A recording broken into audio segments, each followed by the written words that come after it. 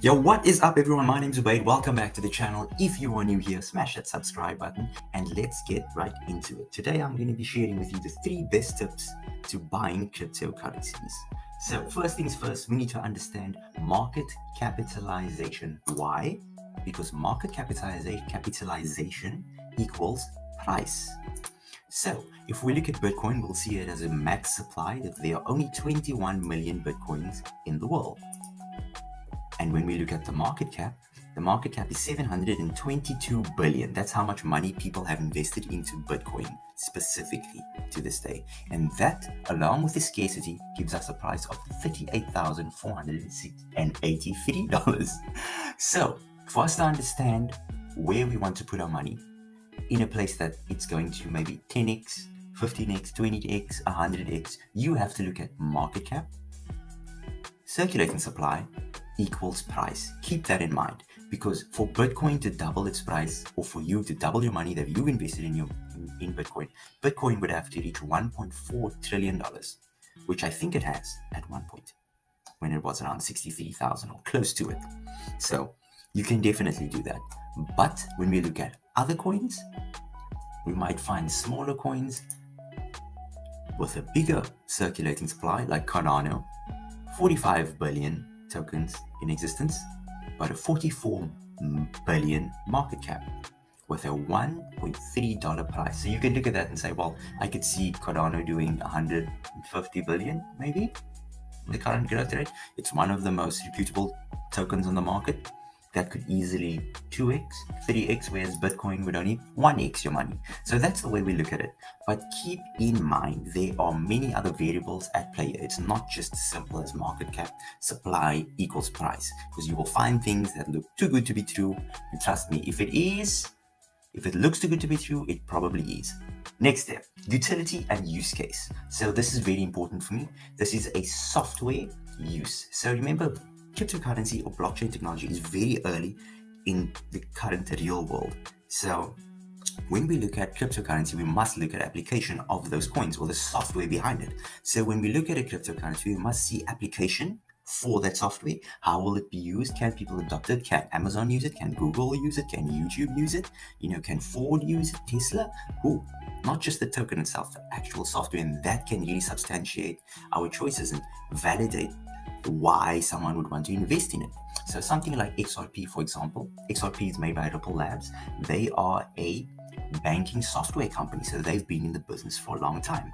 And what the XRP token does, what it offers, is bank payments between countries. So settlement payments, remittance systems, those kind of things, large scale payments between banks. Whereas companies use the countries use the dollar to trade between each other, even though they aren't American, it's just a general fee. So Ripple would then replace it. You understand what I'm saying? So it's a general general fee. It's much faster. It costs less. It's there's just a tons and tons and tons and tons of, positives using XRP. I'm definitely going to do a video on it. I am heavily invested in XRP. I suggest you check it out too. I will drop a video, excuse me, exclusively on XRP. So don't worry about that. XRP is definitely a great use case, a great cryptocurrency, and one for the future, 100%. We look at the market cap again, 33 billion. That this coin has been close to $3 or above $3, if I'm not mistaken. So, definitely something else you need to look at. You could 5x your money, you could 10x your money, and the potential for XRP is very, very, very high within the medium to long term range. Moving on, point number three ownership. The most important part for me is ownership. So we looked at Cardano and we'd have to look at who runs Cardano.